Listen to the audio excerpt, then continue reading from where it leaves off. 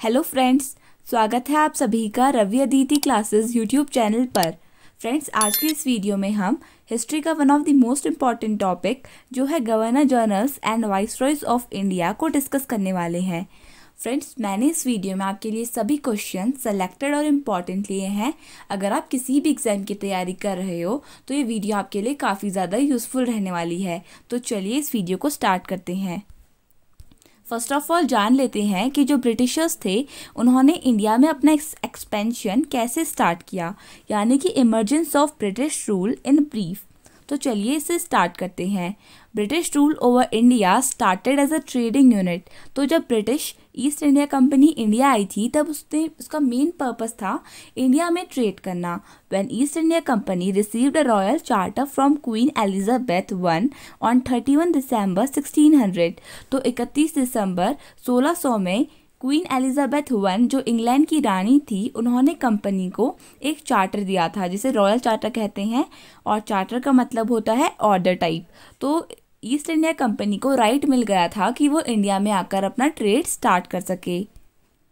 Next even after being a small island country Britain was able to establish one of the largest empires in the world तो Britain जो एक छोटी सी island country थी, उसने अपनी कॉलोनीज वर्ल्ड के कोने कोने पर बना दी थी, जिसकी वजह से हम एक फ्रेज को यूज़ करते हैं the empire on which the sun never sets इसका मतलब ये है फ्रेंड्स कि अगर ब्रिटेन की किसी कॉलोनी में रात भी हो रही होगी तो दूसरी कॉलोनी में सुबह हो रही होगी। फ्रेंड्स क्योंकि ब्रिटेन का एक्सपेंशन ही इतना ज़्यादा था कि उसने countries like America India South Africa and many more countries को अपने अंदर सब्जुगेट कर लिया था। नेक्स्ट तो फ्रेंड्स वीडियो हमारी है governor generals and viceroys of India तो आप जान लेते हैं कि ये गवर्नर जर्नल्स होते कौन हैं? यानी कि who is a governor general governors generals and viceroys were the main administrative cogs of the British India who saw it that the jewel in the crown of the British empire तो हमारी जो country India थी, ये बहुत ज़्यादा rich थी अपने minerals में स्पाइसेस में एंड ज्वेल्स में जो इंडिया में पाए जाते थे। तो ब्रिटिशर्स इसी के वजह से मेनली हमारी कंट्री से अट्रैक्ट हो गए थे। और जो ये वाइस और वाइसरॉयज और गवर्नर जनरल से फ्रेंड्स। ये मेनली एडमिनिस्ट्रेटिव यूनिट्स टाइप के काम करते थे of British India the post of the governor general of India was mainly for administrative purpose and reported to the court of directors of the East India Company ये main point है कि जो ये governor generals होते थे, ये किसको report करते थे? Court of directors of the East India Company ये इंपॉर्टेंट पॉइंट रहेगा, आप इसे नोट डाउन कर लीजिएगा। And market as a star तो चलिए अब इसके आगे देखते हैं। The post of governor general of India was created by passing the charter act of 1833 तो 1833 का जो चार्टर एक्ट था, इसके अंडर गवर्नर जनरल की पोस्ट को डिसाइड किया गया था। और जिसमें विलियम बैंटेक जो थे, ये फ़र्स्ट गवर्नर जनरल बने थे इंडिया के। तो ये भी क्वेश्चन आता है। फ्रेंड्स एग्ज़ाम में आप इसको भी अच्छे से देख लीजिएगा। इसके बाद देखते हैं who is a viceroy तो वाइसरॉय क्या होते हैं? After the revolt of 1857 the government of India act of 1858 was passed तो 1857 की क्रांति के बाद जो गवर्नमेंट ऑफ़ इंडिया एक्ट था 1858 का पास किया गया था, जिसके अंडर क्या हुआ फ्रेंड्स जो गवर्नर जनरल का नेम था, उसे चेंज करके क्या रख दिया गया? वाइस रॉय तो सिंपल ये बात है, ये आपको याद रखना है कि 1857 की क्रांति के बाद 1858 में जो India government of India act pass हुआ, उसके अंदर ये नाम चेंज किया गया। तो चलिए फ्रेंड्स अब इसके आगे वाला पार्ट देख लेते हैं। After 1858 the role of viceroy and governor general of India became one with the viceroy having diplomatic powers and reported directly to the British crown तो क्या हुआ फ्रेंड्स अभी तक हमने देखा कि जो गवर्नर जनरल्स थे, वो किसे रिपोर्ट करते थे? Board of directors of the company को। लेकिन 1857 की क्रांति के बाद जो ये वाइसरॉयज बने, ये किसे रिपोर्ट करते थे? ब्रिटिश क्राउन को। यही मेन डिफरेंस है गवर्नर जनरल और वाइसरॉय के बीच में, ये आपको याद रखना है। फ्रेंड्स कभी कभी ये दोनों टर्म्स एक दूसरे की जगह पर भी यूज़ कर दिए जाते हैं तो आपको ज़्यादा कंफ्यूज नहीं होना है, क्योंकि जो फ़ंक्शन पहले गवर्नर जनरल्स परफॉर्म करते थे अठारह सौ सत्तावन की क्रांति के बाद वही रोल वाइस रॉयस परफॉर्म करने लगे। तो चलिए अब वीडियो को आगे देखते हैं, जहाँ पर हम क्वेश्चंस डिस्कस करेंगे। फ़र्स्ट क्वेश्चन है हमारा who was the first governor general of India तो करेक्ट आंसर इस क्वेश्चन के लिए हो जाएगा option number B lord William Bentinck तो लॉर्ड विलियम बेंटेक हमने अभी अभी डिस्कस किया था कि ये इंडिया के फ़र्स्ट गवर्नर जनरल बने थे under the charter act of 1833 next question who was the first governor of Bengal तो फ्रेंड्स जान लेते हैं कि बंगाल के फ़र्स्ट गवर्नर जनरल कौन बने? तो इसका करेक्ट आंसर हो जाएगा lord Warren Hastings first of all इनको 1772 में बंगाल का गवर्नर बनाया गया था और जस्ट वन ईयर बाद इन्हें गवर्नर जनरल अपॉइंट किया गया था. फ्रेंड्स अब आप कन्फ्यूज़ हो गए होंगे कि जो बंगाल के गवर्नर थे बंगाल के फ़र्स्ट गवर्नर जनरल जो ये वॉरन हेस्टिंग थे, ये सेवनटीन में बन गए थे. थे तो हम लॉर्ड विलियम बेंटिक को इंडिया का फ़र्स्ट गवर्नर जनरल क्यों कहते हैं? फ्रेंड्स क्योंकि जो लॉर्ड विलियम बेंटिक थे, वो पूरी कंट्री की गवर्नर जनरल थे और जबकि जो ये वॉरन हेस्टिंग हैं, ये बंगाल की गवर्नर जनरल थे तो ये आपको याद रखना है।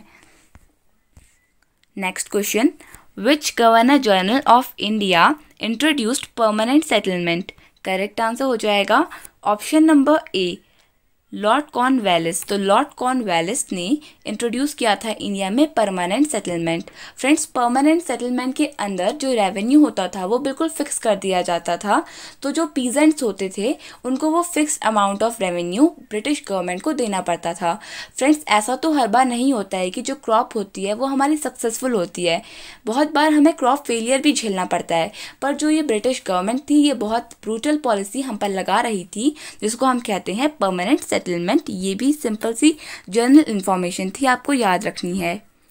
Next question which governor general of India introduced subsidiary alliance system correct answer हो जाएगा option number B lord Wellesley तो लॉर्ड वेलेसली ने सब्सिडरी अलाइंस सिस्टम को इंट्रोड्यूस किया था इंडिया में। तो फ्रेंड्स सब्सिडरी अलाइंस सिस्टम भी बहुत इंपॉर्टेंट टॉपिक है। हम इसे किसी दूसरी वीडियो में डिस्कस करेंगे, क्योंकि ये बहुत वास्ट टॉपिक है। Next question who was the first viceroy of India friends now I hope कि आपको गवर्नर जनरल और वाइस रॉय के बीच का डिफरेंस पता होगा। तो हमें यहाँ पूछा गया है फ़र्स्ट वाइस रॉय कौन थे? करेक्ट आंसर हो जाएगा। Option number C lord Canning हमारे फ़र्स्ट वाइस रॉय थे। आपको याद रखना है। Next question which viceroy of India introduced financial decentralisation in India तो लॉर्ड मायो थे जिन्होंने फाइनेंशियल डिसेंट्रलाइजेशन को इंट्रोड्यूस किया था इंडिया में। ये इंपॉर्टेंट क्वेश्चन रहेगा आपके एग्ज़ाम्स के लिए, क्योंकि ये टू और थ्री टाइम्स रिपीट भी हो चुका है कॉम्पिटिटिव एग्ज़ाम्स में लॉर्ड मायो के बारे में।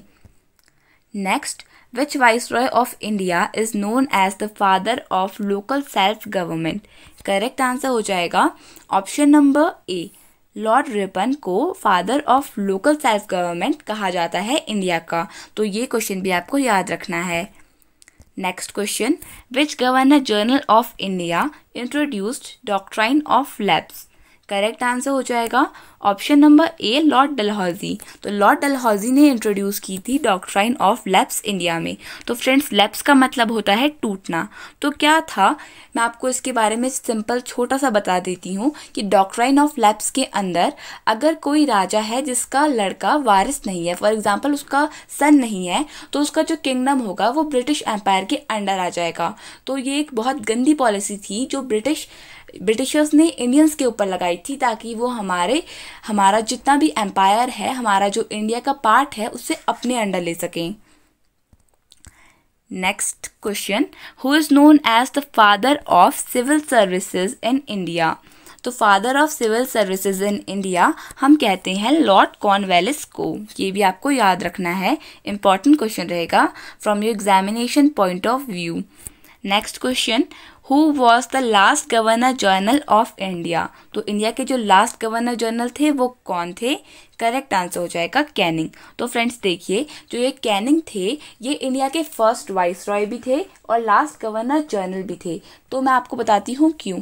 क्योंकि फ्रेंड्स, मैंने आपको बताया कि 1857 के बाद वाइस रॉयस बने थे। तो जो ये लॉर्ड कैनिंग थे, इनका पीरियड स्टार्ट होता है 1856 से 1862 तक। तो देखिए 1856 में ये गवर्नर जनरल थे, यानी कि लास्ट गवर्नर जनरल थे। एंड 1857 के बाद ये वाइस रॉय बने, यानी कि फ़र्स्ट वाइस रॉय बने। तो ये सिंपल सा एक कॉन्सेप्ट था, जो इंपॉर्टेंट था आपके एग्ज़ाम्स के लिए तो मैंने आपको बता दिया, ताकि आप कन्फ्यूज़ ना हो सकें। Next question which governor general of India introduced Madras presidency correct answer हो जाएगा लॉर्ड वेलेस्ली। तो लॉर्ड वेलेस्ली से आपको याद आ गया होगा कि इन्होंने क्या इंट्रोड्यूस किया था? सब्सिडरी अलाइंस को इंट्रोड्यूस किया था। एंड इन्होंने एक और चीज़ इंट्रोड्यूस की थी जो थी Madras presidency friends mainly three presidencies थी, मैं आपको बता देती हूँ। सबसे पहले Bombay presidency Madras presidency and Calcutta presidency next question who is known as the father of Indian railways तो इसका करेक्ट आंसर हो जाएगा लॉर्ड डलहौजी। तो लॉर्ड डलहौजी को फादर ऑफ़ इंडियन रेलवेज कहा जाता है, क्योंकि फ्रेंड्स जो इंडिया की फ़र्स्ट ट्रेन थी, वो 16 अप्रैल 1853 में स्टार्ट हुई थी from Bombay to Thane covering a distance of 34 kilometre ये भी आपको याद रखना है। एंड इस टाइम पर जो गवर्नर जनरल थे इंडिया के, वो थे लॉर्ड डलहौजी। जिनका टाइम पीरियड था 1848 से लेकर 1856 तक। इसलिए इन्हें फादर ऑफ़ इंडियन रेलवेज कहा जाता है। इनका मेन रोल था इंडिया में रेलवेज को स्टैब्लिश करने के लिए। That also next question was the viceroy of India when Calcutta Bombay and Madras universities were established तो करेक्ट आंसर हो जाएगा लॉर्ड जॉन लॉरेंस थे हमारे वाइस रॉय जब Calcutta Bombay and Madras universities establish हुई थी इंडिया में। तो ये भी आपको याद रखना है। और अगर पूछा जाए फ्रेंड्स कब हुई थी तो मैं आपको बता देती हूँ कि ये 1865 में हुई थी। आपको ये भी याद रखना है। एंड 1865 में एक भूटान वॉर भी हुई थी। ये भी इंपॉर्टेंट रहेगा आपके एग्ज़ाम्स के लिए। Next question which governor general of India is known as the father of modern western education in India correct answer हो जाएगा लॉर्ड विलियम बेंटिक। इनको कहते हैं हम father of the modern western education of India. And friends, आपको इनका नाम सुनकर ये भी याद आया होगा कि ये फ़र्स्ट गवर्नर जनरल थे इंडिया की। ये भी आपको याद रखना है। एंड क्योंकि इन्हें इसलिए कहा जाता है father of modern western education, क्योंकि ये लोग मेनली इंग्लिश लैंग्वेज को और वेस्टर्न कल्चर को इंडिया में प्रमोट कर रहे थे। Next question who was the viceroy of India when Indian National Congress was established सबसे पहले क्वेश्चन ये आता है कि आईएनसी कब फॉर्म हुई थी? It was formed in the year 1885 and उस टाइम पर जो हमारे गवर्नर जनरल थे, वो थे हमारे लॉर्ड डफरिन ये आपको याद रखना है Lord Dufferin was the viceroy mainly the viceroy of INC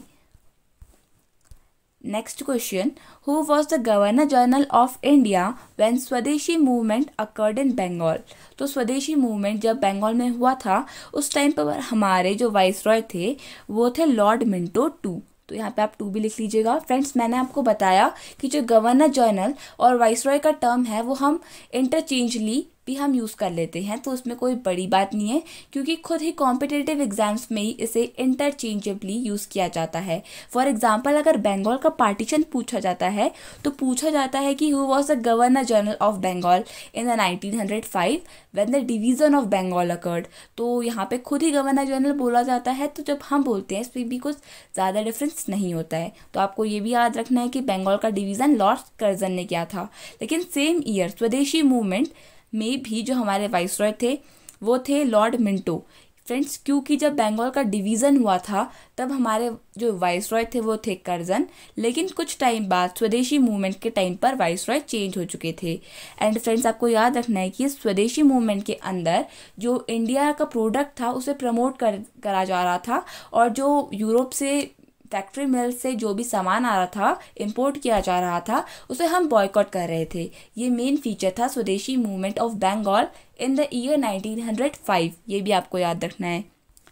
Next question who was the longest serving governor general और viceroy of India correct answer हो जाएगा Lord Linlithgow Lord Linlithgow was the longest serving governor general of India और we can say viceroy and friends, इनका जो tenure था वो eight years का था from 1936 to 1944 next who was the viceroy of India when Simon Commission arrived in India in the year 1927 तो इसका correct answer हो जाएगा लॉर्ड इरविन तो Lord Irwin Gandhi Irwin pact के बारे में शायद आप लोगों ने सुना होगा. तो गांधी इरविन पैक्ट फ्रेंड्स ये 1920s के आसपास लगभग बन गए थे इरविन और Simon commission one of the most important event of Indian history ये 1927 में हुआ था. और इस टाइम पर हमारे गवर्नर जनरल थे लॉर्ड इरविन बहुत बार एग्ज़ाम से पूछा जाता है फ्रेंड्स इस पर आप स्टार मार्क लगा लीजिए and mark it as important next question who was the last viceroy of India तो करेक्ट आंसर हो जाएगा Lord Mountbatten was the last viceroy of India next question who was the last Indian governor general of free India तो friends जब हमें independence मिली, हमने vice Roy को वापस change करके गवर्नर जनरल बोला। तो वो गवर्नर जनरल जो last Indian last and first friends first and last क्योंकि हमने सी राज गोपालाचारी के बाद किसी को गवर्नर जनरल बनाया ही नहीं। तो हमारा आंसर भी हो जाएगा सी राज गोपालाचारी ये first and last governor general थे फ्री इंडिया के, ये आपको याद रखना है। Next question who was the Viceroy of India when the capital of India was shifted from Calcutta to Delhi.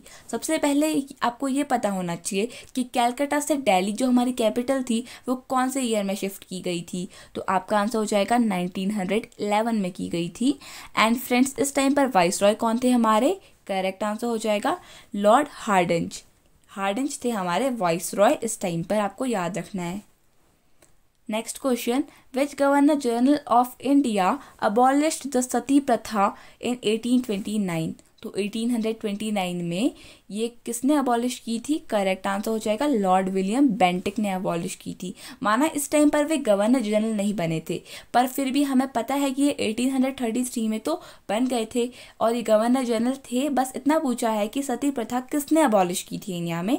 The answer will be Lord William Bentinck even after abolishing it was practised for several more years तो इसमें government की कोई गलती नहीं है, क्योंकि उसने तो अबॉलिश कर दी थी, पर people were still practising it next question which viceroy set a Hunter commission for educational reforms in India in the year 1882 the correct answer will be Lord Ripon तो ये भी आपको याद रखना है। एजुकेशनल रिफॉर्म हुए थे मेनली इंडिया में अंडर दिस हंटर कमीशन कभी कभी ये भी पूछा जाता है हंटर कमीशन के बारे में तो आपको हल्का हल्का पता होना चाहिए। वैसे तो डिटेल में पता होना चाहिए but then also you should know something about it so that was an educational reform of India in eighteen eighty two next question who was the only viceroy to be murdered in office the correct answer will be Lord Mayo तो friends आपको ये भी याद रखना है कि जो ये लॉर्ड मायो थे, इनका जो टेन्योर था वो 1869 से लेकर 1872 था। और इंडिया में जब फ़र्स्ट टाइम सेंसस हुए थे फ्रेंड्स इरेगुलर सेंसस 1872 में हुए थे और रेगुलर जो सेंसस स्टार्ट हुए थे, वो 1881 के ऑनवर्ड्स हर टेन ईयर्स के इंटरवल के बाद ये जो सेंसस थे, वो हो रहे थे, ठीक है? तो आपको याद रखना है कि अगर कभी पूछा जाए कि जब इंडिया में फ़र्स्ट सेंसस हुआ था, तब हमारे जो वाइस रॉय थे वो कौन थे? The answer will be Lord Mayo next question who was the viceroy of India at the time of Indian independence friends it is very easy question and based on common sense because मैंने आपको बताया कि हमारे last viceroy कौन थे? अगर आपको याद आ रहा है तो लॉर्ड माउंट बैटन थे okay so Lord Mountbatten अगर हमारे लास्ट वाइस रॉय थे तो इंडियन इंडिपेंडेंस के टाइम पर भी हमारे वाइस रॉय कौन रहे होंगे? लॉर्ड माउंट बैटन ही थे। तो ये आपका करेक्ट आंसर हो जाएगा।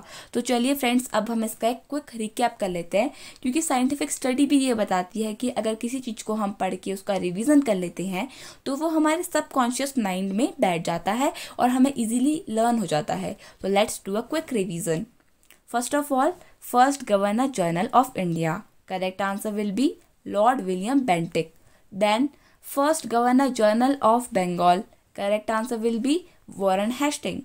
Next question.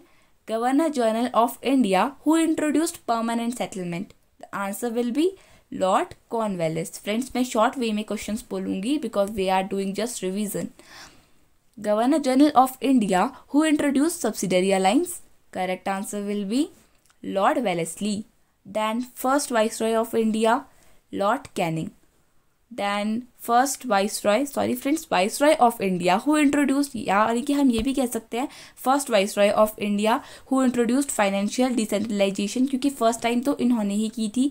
The answer will be Lord Mayo next of India who is popularly known as the father of local self government of India correct answer will be Lord Ripon governor general of India who introduced doctrine of lapse Correct answer will be Dalhousie, Lord Dalhousie.